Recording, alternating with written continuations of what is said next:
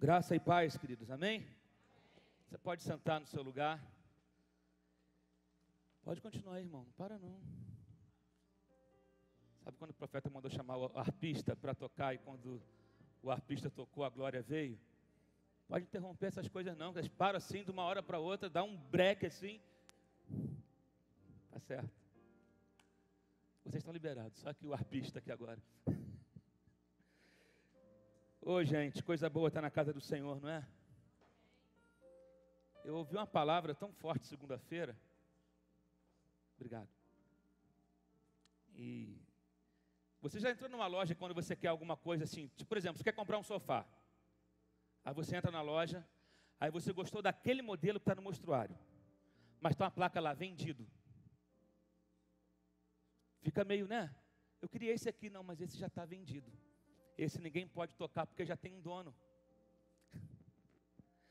Quando a gente lê aquela parábola das, das dez virgens, o casamento judeu ele tem duas fases. Primeira fase, o noivo quando escolhe a noiva, ele assina um termo, ele assina um documento de compromisso com a noiva. E depois ele volta para sua casa para preparar o lugar onde eles vão morar, preparar toda a estrutura para a segunda, para consumar o casamento, que é a segunda etapa do casamento, que é quando o noivo vem pegar a noiva da casa do seu pai e levar para sua casa para começar uma nova vida. Acho que você não entendeu.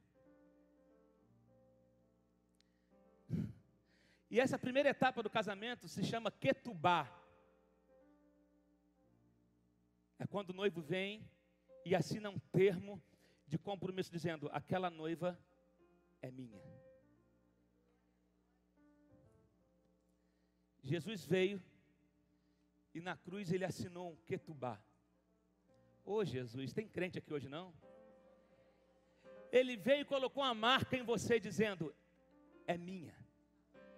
Ninguém toca. É minha. Ninguém tira. É minha. Ninguém rouba esse lugar dela. E agora ele falou: eu vou para o Pai preparar um lugar. Quando o noivo voltava, por isso que a, a, Bíblia fala da questão das lamparinas, porque a, a, a, noiva, quando ela estava com o ketubá firmado, quando havia um documento assinado, ela tinha que deixar a lamparina na sua janela, porque ela não sabia o dia nem a hora que o noivo ia chegar. Então, o que distinguia a noiva era a lâmpada acesa na janela. Quando o noivo chegava na cidade, ele procurava, opa, ali é onde está a minha noiva. Por quê? A lâmpada está acesa. Não vou pregar sobre isso, não. Só estou dividindo com você o que eu recebi na segunda-feira. E aí, quando o noivo chegava, ele chegava na porta da casa da noiva. Ele não entrava, mas ele chamava: O noivo chegou. E ela saía para encontrar com ele. Porque já havia um compromisso, assim como Deus firmou, através de Jesus, um compromisso com a gente na cruz do Calvário. E você tem um selo dizendo: Eu tenho um dono. E qual é o selo que ele deixou sobre nós? Alguém falou aqui. É o Espírito Santo, gente nós temos, nós recebemos o selo do Espírito Santo. Então, mal nenhum pode te tocar.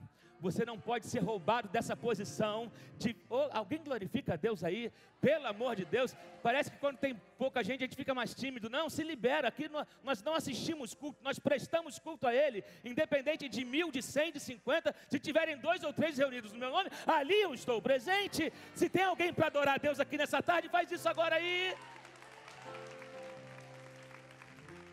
Você não é uma abandonada, uma esquecida ou um esquecido. Você é alguém que tem um dono. Você é alguém que alguém decidiu firmar um compromisso com você, independente das tuas quedas, independente da tua fraqueza, independente das marcas que você carrega. O noivo veio e falou: Eu firmo um compromisso com ela, é minha.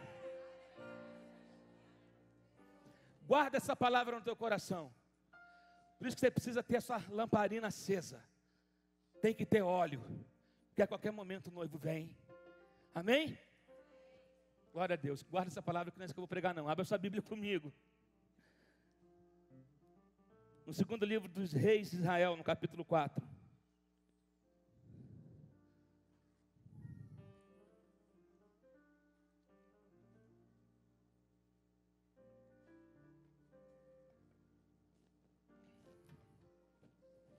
Pastora Fernanda viria pregar, mas nós chegamos de viagem ontem à noite e ela descobriu hoje que viaja amanhã de novo. Ela achou que fosse ficar em casa amanhã e ela viaja amanhã e ela falou: só tenho hoje para ficar com meus filhos. Então, lógico, ela foi dar atenção à Laura, ao Isaac, que quando ela chega de viagem eles ficam secos em cima dela. Aí, quando foi cinco e meia da tarde, ela falou: prega para mim. Sim, com bastante antecedência. Tipo assim, eu estava lá, eu só tinha chegado no escritório e ela me ligou, prega para mim. Que horas? Não agora, seis horas. Eu falei, amém. Legal, você é muito gente boa, assim. Aí a pastora Adriana chegou ali, eu falei, pois a Adriana podia ter vindo, mas a gente também nem se falou, não combinou nada, mas Deus é bom em todo o tempo, amém? Você achou aí? Segundo livro dos reis, no capítulo 4, a partir do verso 8. Certo dia Eliseu foi a Sunem, onde uma mulher rica insistiu que ele fosse tomar uma refeição em sua casa. Depois disso, sempre que passava por ali, ela preparava uma refeição. Em vista disso, ela disse ao marido: Sei que esse homem que sempre vem aqui é um santo homem de Deus. Vamos construir lá em cima um quartinho de tijolos e colocar nele uma cama, uma mesa, uma cadeira e uma lamparina para ele. Assim, sempre que nos visitar, ele poderá ocupá-lo. Um dia, quando Eliseu chegou, subiu ao seu quarto e deitou-se ele mandou o seu servo Geazi chamar a sunamita.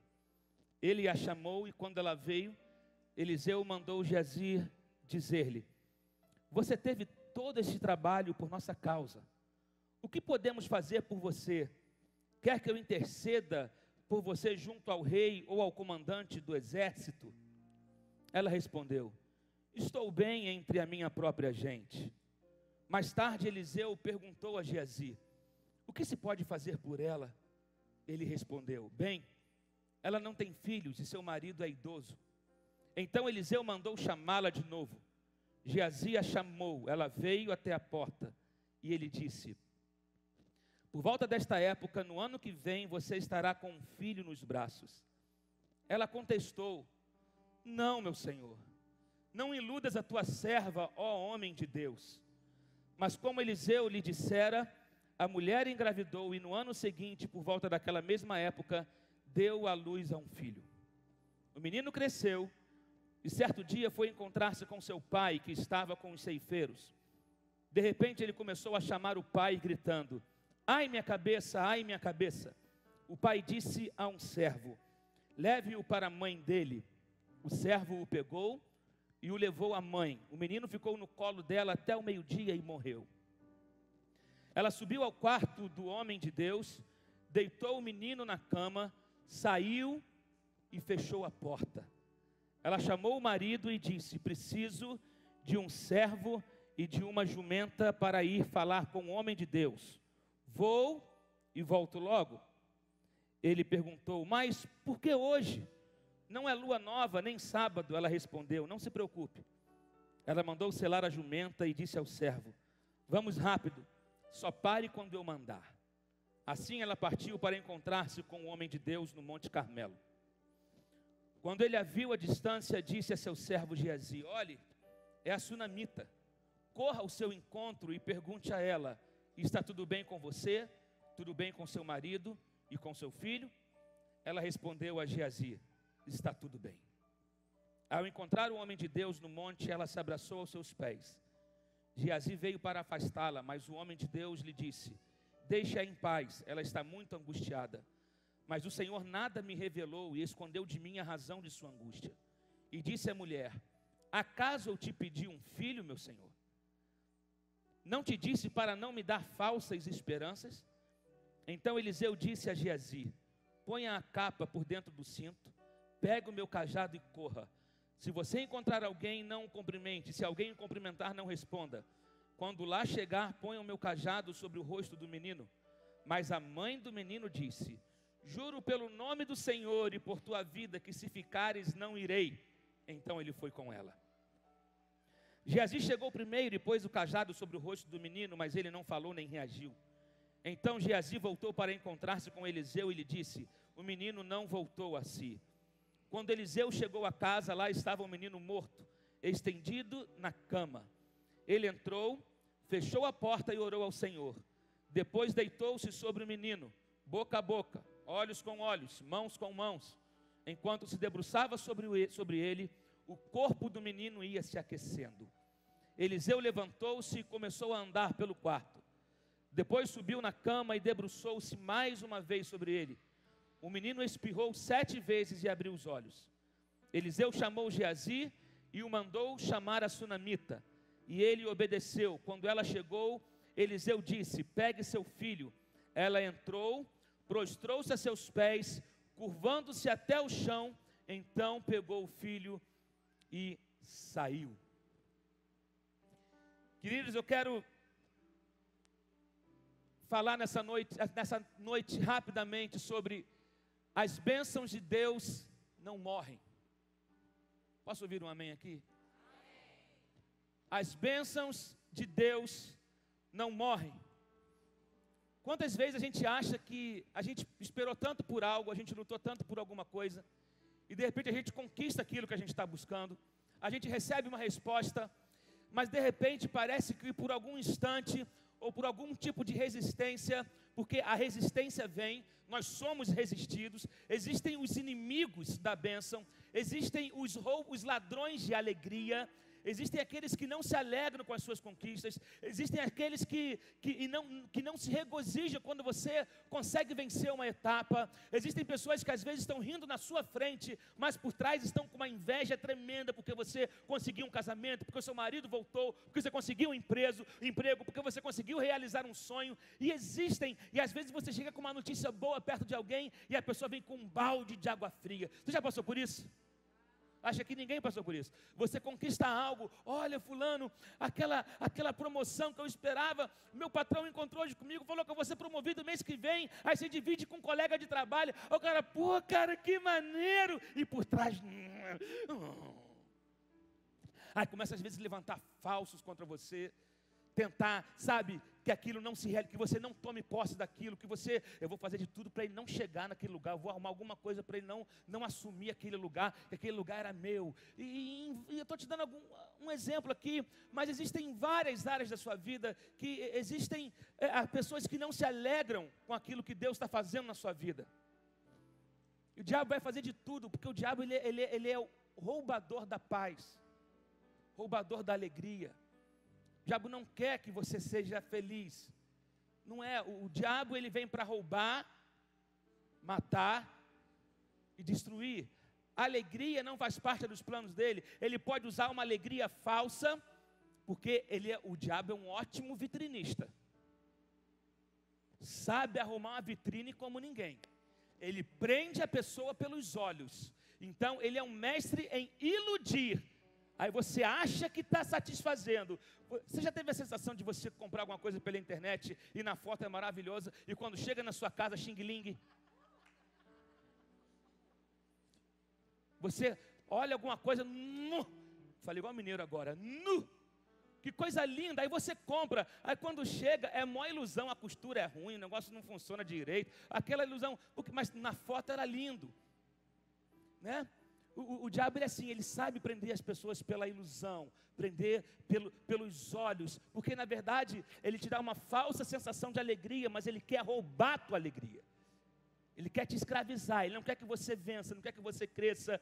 Então existem, o, o, o, o diabo ele é inimigo de tudo aquilo que Deus faz. Por isso que é incompatível. Existem pessoas que acham que estão, que estão, é, que que podem conciliar uma vida mundana com uma vida espiritual. É incompatível, não dá. A Bíblia fala que você não vai conseguir nunca agradar os dois senhores. Não adianta né, algumas pessoas quererem servir a Deus e manter um relacionamento com o mundo, com práticas mundanas. Com... Não adianta, olha, esquece. Se está tentando fazer isso, achar um caminho, achar uma teologia que encaixe a sua carnalidade com aquilo que Deus espera, é impossível, é incompatível. É querer encaixar o quadrado no redondo, não vai dar certo. Não vai dar certo. Agora, Deus, quando promete alguma coisa, Deus, quando Ele diz que você vai chegar a determinado lugar, quando você está caminhando dentro do propósito de Deus, quando Deus conhece o teu coração, Deus cumpre aquilo que Ele faz, aquilo que Ele fala.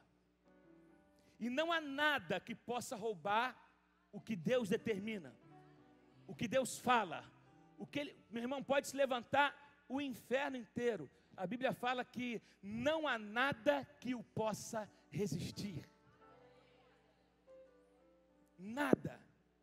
Porque tudo aquilo que a gente mais teme, ele venceu. Inclusive a morte. Ele venceu a morte. Então, Deus não se espanta com notícias de morte. Deus não se espanta com ameaça. Deus não se intimida. E nós servimos a um Deus que é todo poderoso, que nunca perdeu batalha, Amém? Você crê nisso? Então eu vejo aqui, essa mulher é, é, me chama muito a atenção, porque é uma mulher extraordinária, que recebe uma bênção extraordinária, que teve uma tristeza extraordinária e que viveu um milagre extraordinário. Algo que me chama a atenção na vida dessa mulher, primeiro é a atitude sincera dela para com o homem com Deus, para com o homem de Deus. Você não vê essa mulher aqui, Eliseu sempre passava por essa cidade. Ele sempre estava ali, cumprindo o ministério dele, orando pelas pessoas, atendendo gente, curando enfermo, profetizando, cumprindo o seu ofício ministerial, sempre passava por ali. E aquela mulher, ela via a atitude de Eliseu, ela sabia que Eliseu era um homem de Deus, e ela fala: Poxa, eu quero, eu quero receber bem um homem de Deus. Ela chega para o marido dela, você não vê ela falar, vamos fazer algo para um homem de Deus, porque quem sabe ele pode abençoar a gente. As pessoas às vezes querem fazer algo para Deus sempre com intenção naquilo que podem receber em troca.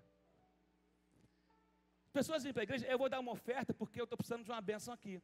Eu vou fazer isso para Deus porque eu quero que Ele me abençoe aqui. As pessoas encaram Deus como um banco de negócios, um lugar onde se, ou a igreja um lugar, de, um lugar de se fazer negócio. Eu vou ali dar uma negociada com Deus. Eu vou dar o meu tempo, vou dar a minha oferta e Ele vai me dar muito mais.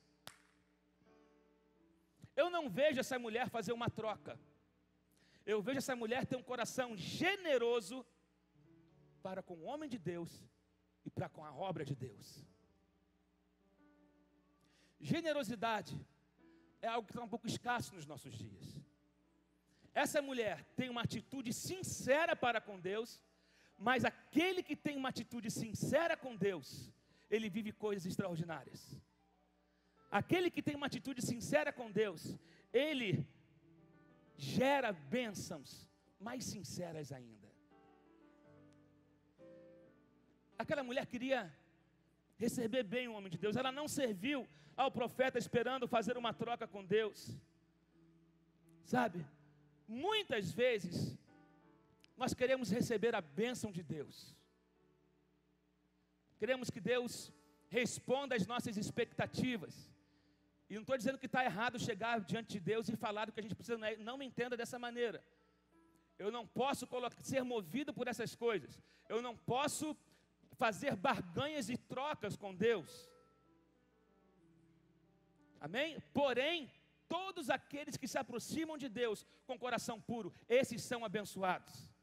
A Bíblia fala que aqueles que creem em Deus e dele se aproximam, esses são, eles recebem as bênçãos do Senhor. É necessário que aqueles que de Deus se aproximam, creiam que Ele existe. Quem crê que Ele existe? É necessário que creiam que Ele existe e que Ele é abençoador daqueles que o buscam. Só que tem uma diferença: existem aqueles que correm atrás da bênção, mas aquele que anda com Deus, a bênção corre atrás dele. Eu já falei aqui, preguei uma vez aqui sobre, sobre o coração de um conquistador. Conquista está na minha frente, mas a bênção está atrás de mim. Você anda com Deus e você serve a Ele, independente daquilo que você possa ganhar em troca, Deus conhece o teu coração. E Ele supre o desejo do teu coração, a Bíblia fala isso. Mas quando eu, Ele supre o desejo do meu coração, quando esse desejo não está à frente da presença dEle. O problema é quando eu pego o desejo do meu coração e faço dele um, um monumento de culto. Aí você acaba andando em função do seu desejo por mais que seja um desejo nobre, por mais que seja um desejo puro, não é, não é maldoso, não tem nada, mas é o desejo, aquilo, aí você passa a andar movido por aquilo, em vez de andar movido pela paixão, pela presença, pelo relacionamento, pela intimidade. Quando você anda movido pela paixão, quando você anda movido pelo relacionamento com Ele, quando tudo que você quer andar de acordo com Ele, você não precisa se preocupar com o desejo, porque Ele vem. Aquela mulher servia ao profeta. Ela não tinha nada que ela chegasse, ah, eu queria tanto isso ou aquilo. Não, ela servia o profeta primeiro porque ela conhecia Deus e ela respeitava o homem de Deus. Ela respeitava. Nós às vezes queremos a bênção, mas não temos o coração sensível para abençoar alguém. Sabe? Às vezes só olhamos para os nossos para os nossos próprios sonhos e desejos, e às vezes nos esquecemos de que existe um mundo à nossa volta e a gente pode mudar a vida de alguém, a gente não faz nada. A Bíblia fala que aquele que pode fazer o bem e não faz, peca. E a Bíblia fala que nós devemos fazer o bem a todos, principalmente aos domésticos da fé. É aquele que vem para a igreja com você, é aquele que você vê todo culto, mas às vezes você não sabe se a pessoa está passando necessidade está precisando de alguma coisa, está faltando alguma coisa em casa, está precisando de um remédio. Às vezes você olha a pessoa e às vezes você julga aquela pessoa, não, que lá não precisa de nada, você que pensa, às vezes se Deus te toca, no, toca no teu coração para ir falar com alguém, querido, não fique uma estátua. Seja sensível à voz de Deus. Seja sensível ao Espírito Santo de Deus. Deus é um Deus generoso. Deus é um Deus que se importa. Se Deus te gerar algo no coração, às vezes, às vezes você está sentado aqui no meio, teu olho, os teus olhos batem em alguém, e Deus começa a falar com você, vai lá falar com aquela pessoa agora, dá um abraço nela, às vezes um abraço. Às vezes uma pergunta. Como é que você está? A gente vive na Barra da Tijuca, a maioria mora por aqui, mas na Barra é um, um, um dos lugares onde mora mais gente iludida gente que teve muito, mas que não tem mais nada, gente que vive de uma história, ou gente que até, até passando por uma fase boa, mas você não pode esquecer que a pessoa não é o que ela tem, e você não é o que você tem. Tem gente que é tão pobre, tão pobre, tão pobre, que tudo que ela tem é dinheiro. É só o que ela tem. Não tem paz, não tem amigo, não tem amizade, sabe? Não tem relacionamento. Tem cachorro. Legal, também tem duas lá. Mas não tem relacionamento com ninguém. Essa mulher recebe o homem de Deus. Ela faz um quarto para ele. A Bíblia fala sobre a hospitalidade que muitos, sem saber, hospedaram anjos. A Bíblia manda a gente praticar a hospitalidade. Eu lembro que lá em casa, a gente, eu minha mãe está aqui, essa senhora linda aqui na frente. Mãe, um dia a gente tem que marcar, falei contigo. Eu vou marcar um dia aqui, queridos, agora para outubro, para minha mãe só contar testemunho aqui do que a gente viveu lá no morro. Vai sentar eu, ela e meu pai aqui na frente, só para vocês vão ouvir as coisas que a gente viu. Mas minha mãe, eu, eu, sempre, lá em casa, a gente sempre, quando ia pregador de fora pregar na igreja, ou cantor, hospedava na minha casa. E era na casa simples, lá no pé do morro do juramento. Gente, mas a gente amava receber. Até hoje, né, mãe? Até a gente amava receber e preparava o quarto e tudo direitinho, fazia compra, tinha coisa que só comprava quando a visita ia, né? Aquela... Olha, visita, vamos comprar aqui, faz uma forcinha aqui, é um, né, tal. A gente não tinha grana, era tudo ali, era, não faltava nada, mas não tinha também nenhum luxo e tal. Glória a Deus, mas a gente amava receber. Nossa, gente, a visita ia chegar na sexta, na segunda a casa já entrava no ritmo de receber a visita. Né? Tava lá o cafezinho, o pãozinho, o bolinho de laranja, ou então de cenoura com cobertura de chocolate que minha mãe faz até hoje, que é um sonho. O arrozinho doce, carne assada, hum, com batatinha doce corada e talharinzinho. Ou então a linguiçinha frita com couve refogada o arroz e a farofinha de banana com feijão. Jesus, Jeová está na terra. Sabe, mas a gente amava receber. Tinha minha tia Sebastiana que fazia umas coxinhas de galinha desse tamanho. Deus já levou ela já. Mas ela fazia umas coxinhas de galinha. Meus irmãos, mas era uma coxinha, uma coxinha light. Era uma coxinha direita. Mas sabe, praticar a, hospitalidade. Quando falava, né, eu lembro que meu pai, a gente sempre, ah, tem que receber fulano. Tinha gente que tinha mais condição do que a gente, mas que a mão ficava assim, ó. Meu pai sempre, não, pai fica lá em casa. E a gente sempre foi abençoado. Sempre. Meu pai é um dos exemplos de homem mais generoso que eu conheço. Meu pai a gente distribuía cesta básica no morro, é, ticket de leite na época que o governo dava ticket de leite para as famílias. Meu pai distribuía. Eu nunca vi meu pai precisar pegar dinheiro com ninguém emprestado. Meu pai, meus pais sempre praticaram a hospitalidade e a generosidade. Mas tem gente que quer a bênção, mas ele não abre a mão para repartir com ninguém é pão duro. Ele não consegue dar, ele dá oferta na igreja, acha que Deus é flanelinha. Ele dá, dá um real, mas não dá uma oferta digna.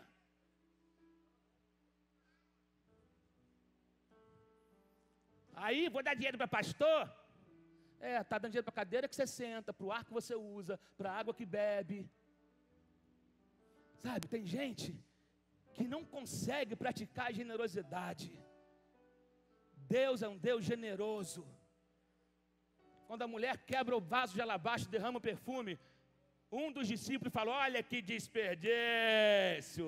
Esse perfume poderia ser vendido e dar o dinheiro aos pobres. Tem sempre alguém com um discurso socialista bonitinho para falar.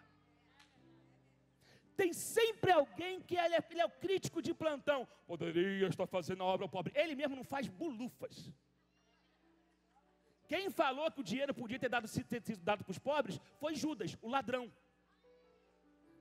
Judas que falou esse dinheiro podia ter sido dado para os pobres. Lógico, porque ele, Jesus, ganhava oferta, gente. Tinha tesoureiro no meio dos discípulos. Aí tem gente. É, bom, deixa que isso é assunto para outra coisa. Não. Aqui tem gente que reclama de dar oferta para pregador, para pastor, ou quando alguém acha que tal. Jesus recebia oferta. A Bíblia fala que é justo aquele que serve no altar comer do altar.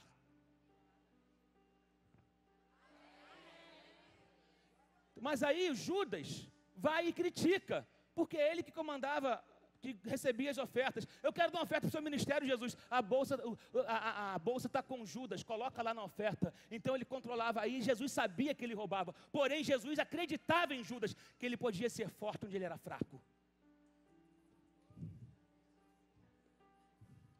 Mas Jesus sempre ensinou a generosidade. Sempre ensinou. E essa mulher é um exemplo disso. Gente, eu vou ter que correr, estou no primeiro ponto. Agora,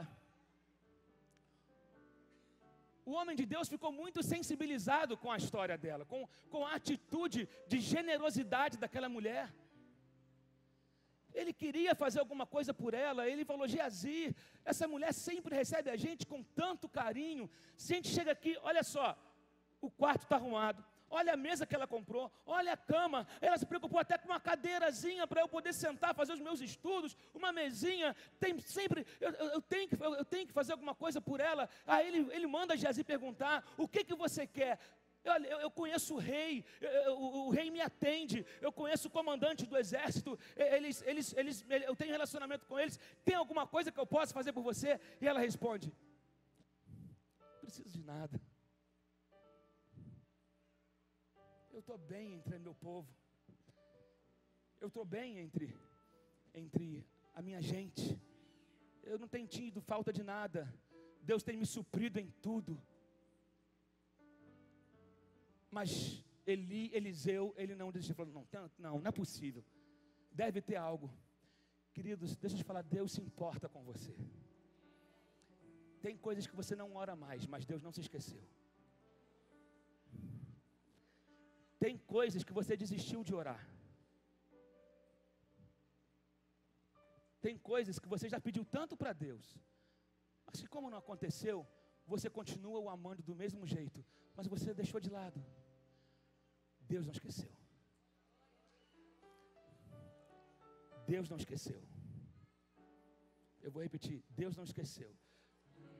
Deus não esqueceu. Você não tem buscado a Ele por interesses, mas Ele não esqueceu porque Deus sabe da tua sinceridade, porque Ele vê a tua sinceridade, Ele sabe que existe um desejo aí dentro que já ardeu um dia, mas que hoje não arde mais. Eu quero que você entenda nessa tarde que Deus não se esqueceu.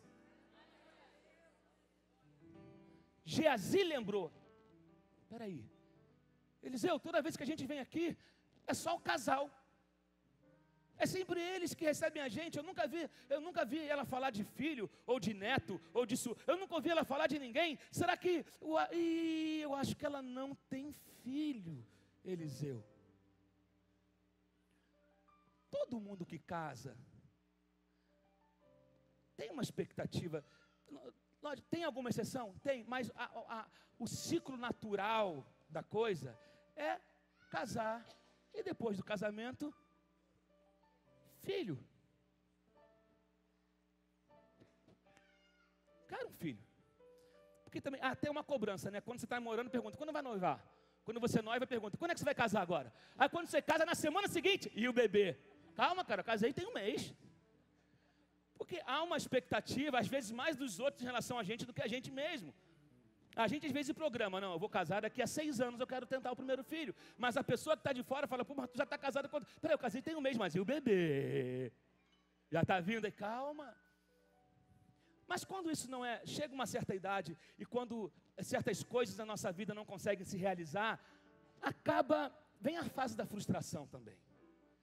Depois da fase da frustração e não se realizou mesmo, vem a fase da entrega. Eu deixei de lado. Eu esperei, eu me frustrei, não aconteceu, então deixei de lado e vou tocar a minha vida. Para mim, esse casal já estava nessa fase. Não aconteceu, estou bem, amo meu marido, ele me ama, a gente se completa um ao outro, legal, estamos juntos, vida que segue, servindo ao reino, servindo aos homens de Deus, trabalhando, dirigindo o culto, reunião de oração, estou lá na igreja, firme e forte, domingo, dou minha oferta, faço o que precisa, mas beleza, Deus não me atendeu ali, vida que segue, mas Deus não se esqueceu. Aí o profeta chega e fala: Ano que vem, você vai ter um filho. Ano que vem, você vai ter um filho. Aquilo que você já sonhou um dia lá atrás, mas que esqueceu, Deus não esqueceu. Mas ela chega e fala: Não me iluda. Eu não, eu já tenho uma idade eu não estou aqui de brincadeira. Era uma mulher que tinha, ela enfrentava, ela sabia o que queria, ela, desse, desse, ela sabia quem ela era. Ela falou: Não estou fazendo nada com você por troca, não estou barganhando com Deus, então não me iluda. Mas Eliseu era um homem de Deus. E ele falou: Ano que vem,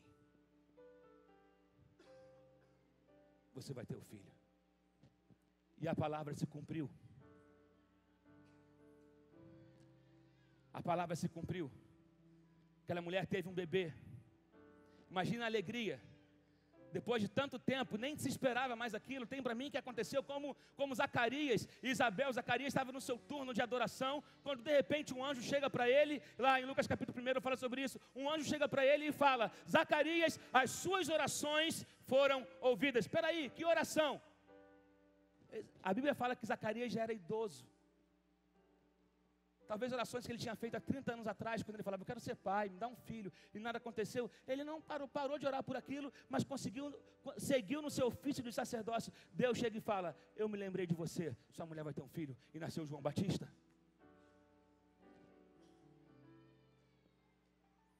Deus cumpre a promessa que Eliseu havia falado para aquela mulher: o bebê nasce, e ele vai crescendo. Mas por volta dos 10 anos de idade, o menino vai trabalhar com o pai. O menino vai trabalhar com o pai. Eu lembro que às vezes eu ficava numa alegria quando meu pai me levava para trabalhar com ele. Meu pai era operador de subestação elétrica da Light. Aquelas estações elétricas, meu pai operava aquilo. 25 anos, 28 anos acho que trabalhou na Light. 30 anos, né? Ele se aposentou pela Light. 30 anos trabalhando na Light. E quando meu pai me levava para trabalhar com ele, era uma alegria, a gente fazia, que tinha umas máquinas no meio de uma sala, só que a sala era uma sala tão grande, e a máquina de operação ficava no meio. E a gente fazia bola de meia para ficar brincando. Então era, era, era festa, jogando bola de meia ali no meio daquela situação toda. E imagina a alegria do pai com esse menino, do menino de ir trabalhar com o pai, indo para o campo. O pai sempre, o filho quer andar com o pai, quer ver o que o pai está fazendo, quer aprender o que o pai está fazendo, quer mexer nas ferramentas do pai. Isso, isso é natural, isso é saudável, isso é bom. Mas só esse pai aqui dá uma mensagem para um outro dia.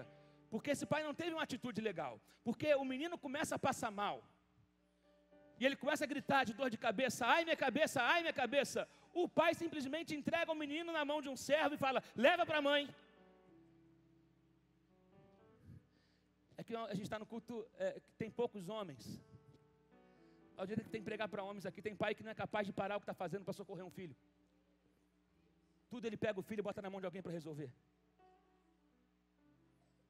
Essa mensagem para outro dia. Aí leva o menino para a mãe. Menino, a mãe pega o menino no colo e o menino morre. Provavelmente tem uma convulsão e, e ele morre. O menino era a bênção daquela mulher. O menino, ela não pediu aquele menino, embora ela já tivesse sonhado com aquilo um dia. E de repente Deus vem e ressuscita aquele sonho através de um profeta e dá a ela, e de repente aquilo que Deus deu é, é aparentemente morre, está cai morto no, no colo dela. Mas algo que me chama a atenção aqui nesse texto, querido, vamos lá, vamos ser bem práticos. O que se faz quando alguém morre? Você enterra. Fazer o velório. Eu vou procurar um. Eu vou eu vou, na, eu vou no cemitério, vou agendar o horário do enterro, vou avisar os parentes, vou avisar todo mundo. Morreu. Essa mulher tem uma atitude diferente. Ela não pega o filho, ela não falou com o marido que tinha morrido, não falou com ninguém.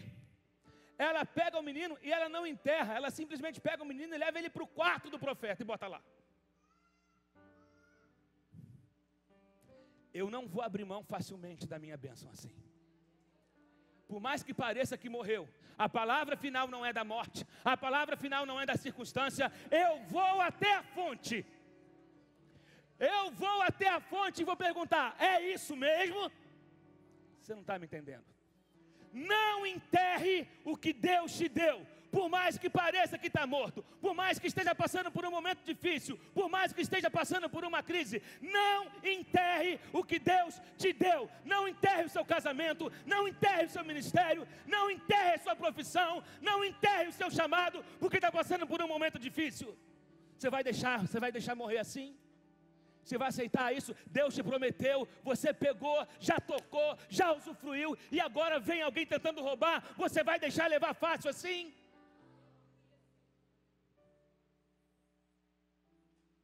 Não enterre. Aquela mulher decide: eu vou até o homem de Deus. Eliseu representava o Senhor, representava a figura de Deus. E ela decide ir até ele, sabe? A sua bênção, ela tem necessidade, requer de você ousadia, requer de você coragem, requer de você determinação, requer de você perseverança, requer de você insistência, requer de você se levantar e dizer: ninguém vai roubar, ninguém vai tirar, é de, Deus me deu e eu não vou deixar escapar assim, eu vou lutar. Deus promete que teu marido vai ser restaurado e teu marido se converte, está na igreja, de repente ele tem uma queda, ou ele volta, ou ele bebeu de novo, ou ele Caiu, aí você fala, não, aí você já põe tudo a perder por causa de um momento. Não determine o final, não determine a morte. Não, passou por uma crise, mas é meu e vai se levantar. Está entendendo? Você precisa se posicionar. Porque os roubadores da bênção estão por aí. Os roubadores da alegria. O diabo quer que você acredite que morreu, mas você vai se levantar e você vai até a fonte hoje. Aquela mulher decidiu, sabe, quando parecia que a bênção tinha sido tomada, ela decidiu ir até a origem. Aí ela chega. Interessante. Ela falou com o marido: prepara um jumento para mim. Você vai aonde? Não, eu vou ali falar com o homem de Deus. Mas hoje não. É, não. Se ela tivesse falado para o homem, homem, ah, meu Deus, vamos enterrar. Mulheres são determinadas, muito mais que os homens. Sim ou não, pastora? Mulheres o homem desiste fácil. Porque o homem é mais prático, o homem quer resolver, se tem que chorar, chora logo.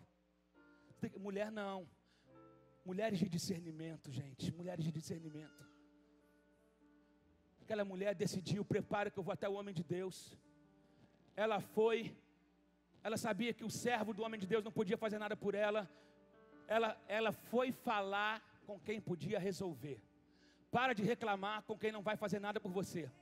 Para de falar, pegar o telefone, gastar horas no seu telefone, no seu WhatsApp, não sei aonde, reclamando com quem não pode fazer nada por você. Volte à fonte, volte à fonte, à origem, aquele que te prometeu, aquele que disse que você romperia, que você venceria. Para de conversa fiada. Volte à fonte. A origem da bênção. Está tudo bem? Está tudo bem.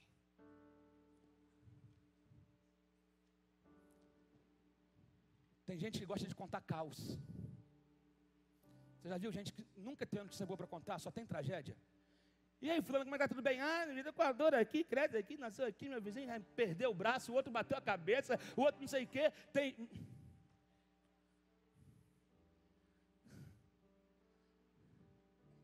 Quando você murmura, o diabo cresce. Aprendi que murmuração é louvor, é quando você louva o diabo. O diabo se alimenta de murmuração. Tudo que ele quer ouvir é você falar: está terrível, está uma luta, estou só perdendo, minha família está assim. Não, você vai falar: está tudo bem. Como é que está? Está tudo bem está tudo bem. Está na luta, está tudo bem. Está na chapa, está quente, eu estou vencendo, está tudo bem. Eu preciso falar com Deus. Está tudo bem, Senhor. Aí com Deus não, com Deus você não precisa ser educado. Tem gente que quer ser educado com Deus. Tem gente que quer ter etiqueta com Deus. Não, para Deus você pode abrir o teu coração. Olha aqui, Deus. Eu não. Eu estava quietinha no meu lugar.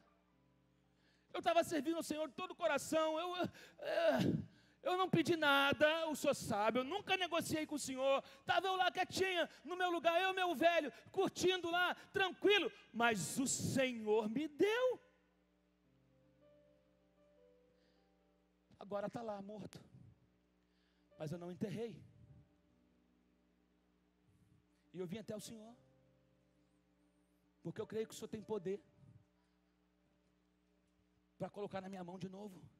Eu não vou abrir mão daquilo que o Senhor me deu. Ela não aceitou o cajado. Ela não aceitou a fitinha, nem o sal, nem a rosinha, nem a pedrinha. Ela não aceitou, oh, meu Deus. Ela... Leva essa fitinha, bota lá que ele vai ficar. Não. Se o Senhor não for, eu não vou. Pode mandar o seu servo, o Senhor vai comigo. Você não pode abrir mão da presença. Você não pode abrir mão, da, você não pode, oh meu Deus, trocar a presença de Deus por coisinhas, sabe? Deus é maior do que qualquer fitinha, do que qualquer coisa. Oh, Pai, a presença dele que anda comigo. Se ele não for, eu não vou. Não enterre o que Deus te deu. Volte à fonte, volte à origem, volte-se para ele Oh meu Deus, oh meu Deus, sabe? Você precisa voltar para Ele hoje. Eu não sei o que estava morrendo na sua vida, eu não sei que crise você passou, de repente está sentindo aquilo que estava tão perto, ou que você já sentiu nas suas mãos, de repente está escorregando, está, sabe, saindo por entre os seus dedos. Está sentindo que você está perdendo. Você esteve tão perto da vitória. Você chegou a desfrutar de momentos de vitória da sua conquista, mas de repente, meu Deus, tem que vamos ficar de pé. Mas de repente você está sentindo que algo que ah, o coração não bate da mesma maneira. Estava tudo muito bom para ser verdade. Não se boicote. Tem gente que não aceita que ele pode ser feliz.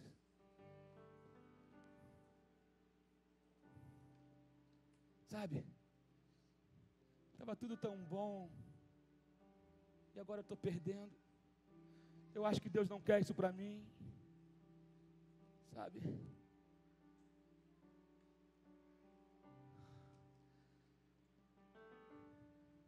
Você vai ressuscitar a sua bênção hoje. Você vai ressuscitar a sua bênção hoje. Você não vai enterrar o que Deus te deu.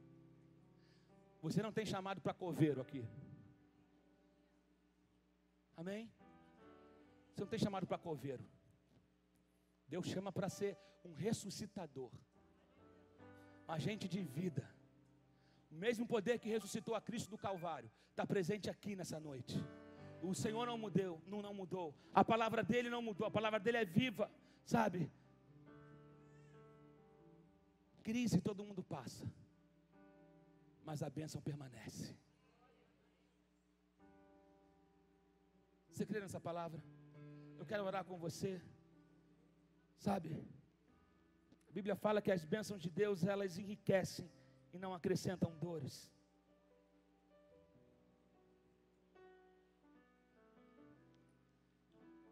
Deixa eu te fazer uma pergunta: você vai deixar qualquer um vir e matar a tua alegria? E matar a tua bênção? Você precisa se posicionar.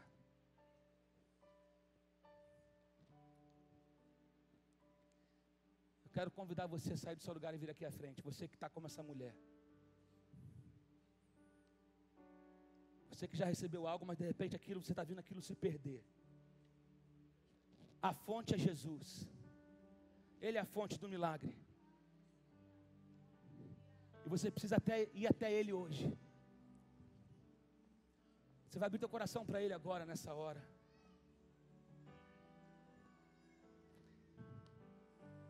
Fala, Senhor, eu não vou abrir mão da minha família. Eu não vou abrir mão da minha saúde. Eu não vou abrir mão do meu filho. Eu não aceito perder o meu filho para as drogas. Eu não aceito perder o meu filho para as mais influências. Eu não aceito perder a minha família. Minha família estava tudo funcionando bem, até que aquela mulher apareceu na vida do meu marido, até que aquela amizade apareceu na vida do meu filho. Eu não vou aceitar perder. Eu... Se posicione como uma mulher de fé, como uma mulher temente a Deus se posicione nele e reivindica aquilo que é seu, a sua casa, a sua família,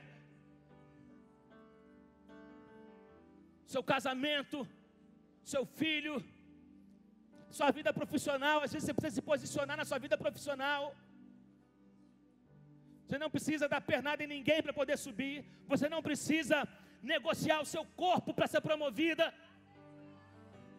Você não precisa sofrer intimidação de patrão para poder ter um salário melhor. Se Deus abriu aquela porta, Ele abriu. E o que Deus te deu, ninguém pode roubar. Ninguém pode roubar. Eu clamo agora por ressuscitação, Senhor. Por ressurreição, Senhor. Ressuscita aquilo que estava morto. Era o Senhor deu, mas vieram os ladrões da alegria para querer fazer morrer aquilo que o Senhor prometeu. Eu quero declarar vida agora.